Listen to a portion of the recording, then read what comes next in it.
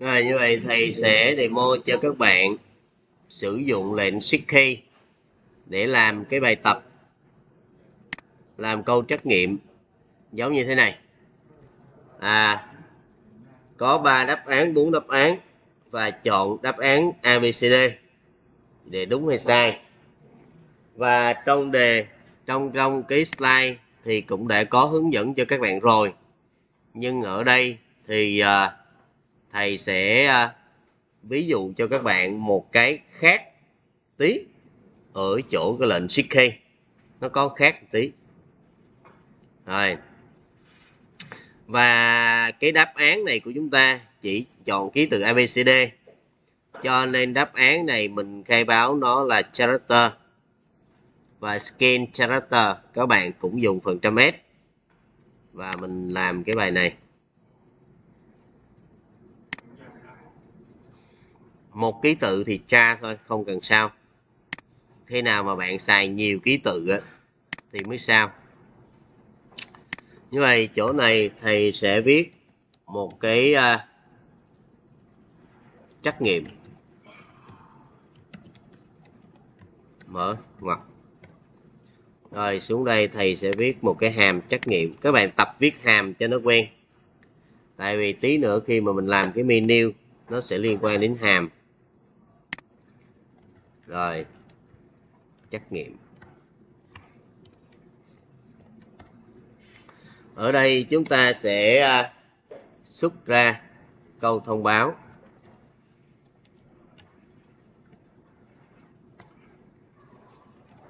Câu thông báo ở đây. À, chọn kết quả đúng. 4 cộng 5 kết quả đúng 4 cộng 5 rồi print. Chú ý dùm thầy nhé nó có xuống dòng lên dòng gì đó. Câu A chấm. 4 cộng 5 bằng à, 10 rồi à, xịt N. Câu B 4 cộng 5 bằng à, 13 xịt N. Câu C 4 cộng 5 bằng 9 xịt N. Câu D 4 cộng 5 bằng 11 bằng 8 rồi, ví dụ như vậy. Mình sẽ gọi cái hàm trắc nghiệm để mình chạy. Rồi, chạy thử nó ra cái gì? Như vậy, sau khi mình chạy như vậy không? Có bị vấn đề gì lỗi không? Bị gì? À chữ A này. Vậy thì mình làm gì chỗ này? Mình làm gì đây? Chỗ này. Siệt n. Rồi, ok. Như vậy mình đã có được bốn đáp án rồi. Bây giờ sẽ yêu cầu là người ta lựa chọn một trong bốn đáp án này. Một trong bốn đáp án này. Thì mình lại thông báo một câu. Chọn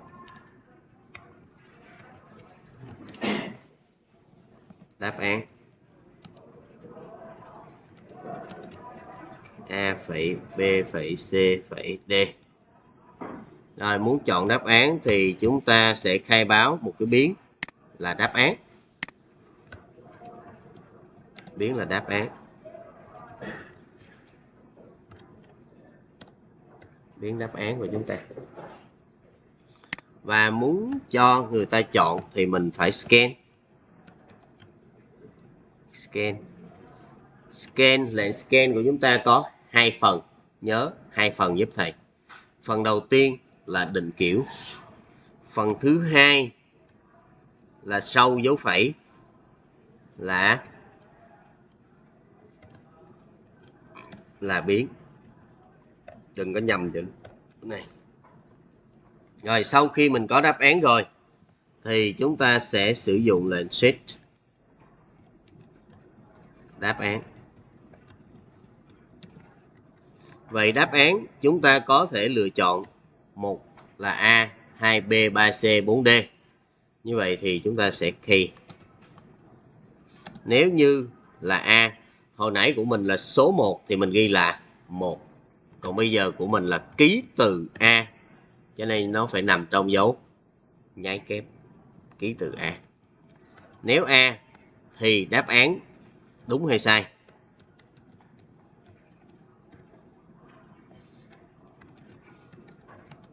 Chưa đúng rồi.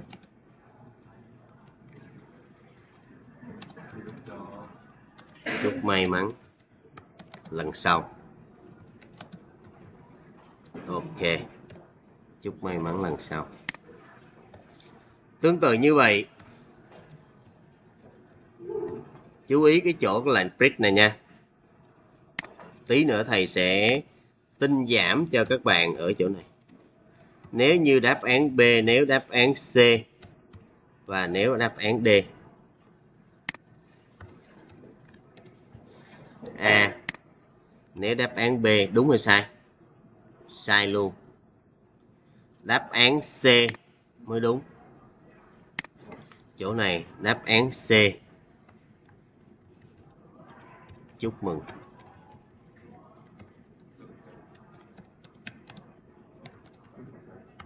Chúc mừng bạn.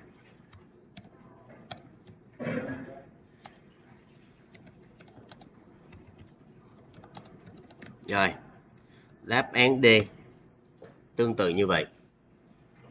Rồi, nếu như cần,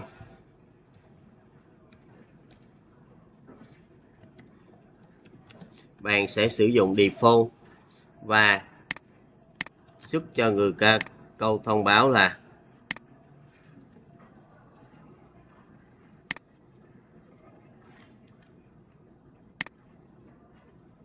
chọn đáp án ABCD không chọn cái khác. Được không? Nếu như mà người ta chọn chữ khác thì mình sẽ, sẽ yêu cầu người ta chọn đáp án ABCD khi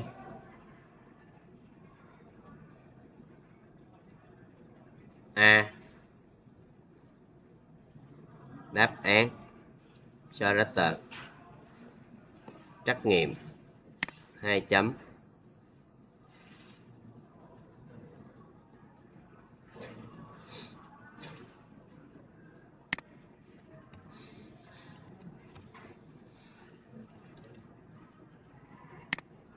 rồi, ok.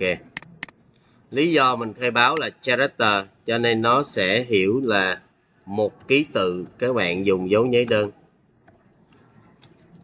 Dùng dấu nháy đơn. Dấu nháy kép thì nó nghĩ đó là chuỗi. Mình sửa lại chỗ này dấu nháy đơn. Rồi, chạy lại thử coi nào. Ok. Chọn đáp án, ví dụ như, rồi chỗ này cũng thiếu xuống dòng nè phía xuống dòng. Ví dụ mình chọn A. Chưa đúng rồi. Như vậy xuống dòng ở đâu nữa đây? Xuống dòng ở đây. Shift N. Và cái chỗ chọn đáp án này các bạn nhìn thấy chỗ này nhé. Mình à, xem rồi mình thấy nó bất tiện mình sửa thôi. Ví dụ như chọn đáp án nó nháy ngay ở đây luôn. Cũng được. Nhưng mà đều nó xấu ví dụ như mình chọn C. Chúc mừng bạn đã chọn đúng. Nhưng mà nếu chỗ này mình hai chấm cái, cách ra một cái. Rồi, chạy lại. Nhìn nó đẹp hơn, rõ ràng hơn. Được chưa? Rồi. Như vậy thì thầy muốn cho các bạn thấy là đối với lại CK này có gì hay? Có gì hay? Đây là mình làm theo đúng chuẩn nè nếu A thì nếu B thì nếu C thì nếu D thì. Nhưng mà có phải là A nè B nè D cùng cùng một câu trả lời không? Phải không? Cho nên chú ý nha thầy sẽ để đáp án A. Bỏ Fred đi. Bỏ đi. Rồi đáp án B cũng tương tự bỏ đi. Và thầy đẩy cái đáp án D này lên đây. Nhìn nha. Có gì khác nha. Rồi. Và câu lệnh của mình nó chỉ còn a, b, d là chưa đúng. C là đúng. Vậy thì khi chúng ta chạy lại, nếu thầy chọn a nó sẽ làm gì? Chưa đúng rồi, chạy lại. Nếu thầy chọn b, cũng chưa đúng. Nếu thầy chọn c, chúc mừng. Nếu chọn d nếu chọn D. Chưa đúng. Vậy thì lệnh shift key này có gì khác so với ban đầu? Có gì khác so với ban đầu? Tức là lúc nãy chỗ A mình cũng thêm vô print, xong là print nó đi. À đổi đi chỗ khác. Như vậy thì trong trường hợp câu KA B không có cái press thì nó sẽ đi tiếp xuống phía dưới. À nó vô nó kiểm tra. A, đúng rồi đó. À đúng rồi đó. Nhưng mà không có lệnh press cho nên nó đi xuống tiếp B. Đi xuống tiếp D. Gặp đây, nó xuất ra cái câu này và bắt đầu nó kết thúc. Tương tự như vậy, B cũng vậy và tương tự D cũng vậy. Như vậy thì cái đoạn này của chúng ta. Nếu như các bạn muốn cho nhiều lựa chọn cùng thực hiện một đoạn lệnh, thì chúng ta chỉ làm khi mà đừng có để print vô, thì nó sẽ đi từ trên xuống xuống xuống. Ha. Nếu như gặp cái lệnh print này, thì nó sẽ thoát khỏi cái vòng lặp sheet của chúng ta. Được chưa nào? Như vậy, cái cấu trúc này của chúng ta, nó làm cho đoạn code của chúng ta đơn giản hơn, đơn giản hơn, gọn hơn. Đó là lệ switch case và cái bài mà yêu cầu các bạn làm, bài này thực ra không khó. Bài này gợi ý cho các bạn. Nghĩa là mình muốn lấy được, mình muốn chuyển được cái số 6 này ra chữ 6 thì mình phải lấy được nó ra cái này muốn lấy được số 6 ra, khỏi cái 1 2 3 4 5 6 mình phải làm gì? Chia cho mấy? Chia 10 lấy dư. Như vậy nó dư 6 đúng không? Rồi, như vậy số của mình sẽ còn lại là 1 2 3 4 5 làm sao mình lấy được 1 2 3 4 5 chia 10 lấy nguyên và lặp lại tương tự như vậy. Còn lại 1 2 3 4 5 chia 10 lấy dư là dư 5 sau đó lại chia 10 lấy nguyên là 1 2 3 4 và mình lặp lại lặp lại như vậy, cho đến khi nào hết thì thôi. Như vậy mình đã bóc tách được số 1 2 3 4 5 6 thành 6 5 4 3 2 1 đó, mình bóc tách được các số đó ra.